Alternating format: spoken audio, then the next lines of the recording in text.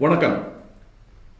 Corona virus பாதிப்பு நாலாவது ஐந்தாவது வாரத்தில் பன்மடங்கு அதிகமாகுதுங்கிறத பல நாடுகளில் பார்த்துக்கிட்டு இருக்கோம். எதனால? வைரஸ் தொற்று அறிகுறிகள் வெளியே தெரியாத போது பாதிக்கப்பட்ட சிலர் பல இடங்களுக்கு போயிட்டு இருப்பாங்க. பாதிக்கப்பட்டது அஞ்சு பேர்னா அந்த அஞ்சு பேர்கிட்ட இருந்து இருபத்தஞ்சு பேருக்கு பரவும். அது இன்னும் நூறு பேருக்கு பரவாமல் தடுக்க ஒரே ஒரு வழிதான் இருக்கு. சோஷியல் டிஸ்டன்சிங் விலகி இருத்தல். அதீத விழிப்புணர்வு தேவைப்படுகிற கட்டமான நாலாவது வாரத்தில் தமிழ்நாடு இப்போ இருக்கு.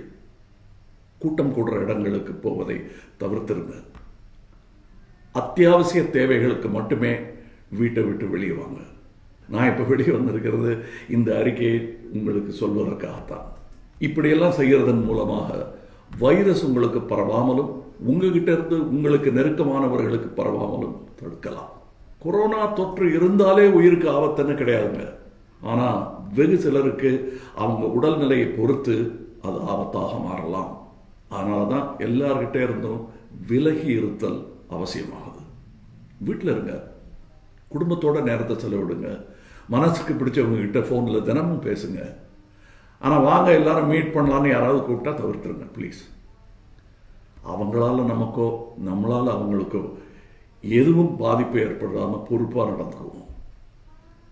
வந்தால் செய்ய வேண்டியதை வரும் முன்னாடியே செய்வோம். விலகி இருங்க பாதுகாப்பாக இருங்க. நமக்கு ஒன்றும் வராது என்று கண்மூடித்தனமான நம்பிக்கையினாலோ அசட்டு தைரியத்தாலோ இந்த நோய் பரவ நாம் காரணமாக இருந்து விடக்கூடாது முன்னெச்சரிக்கை தான் முக்கியமான விஷயம். மறந்து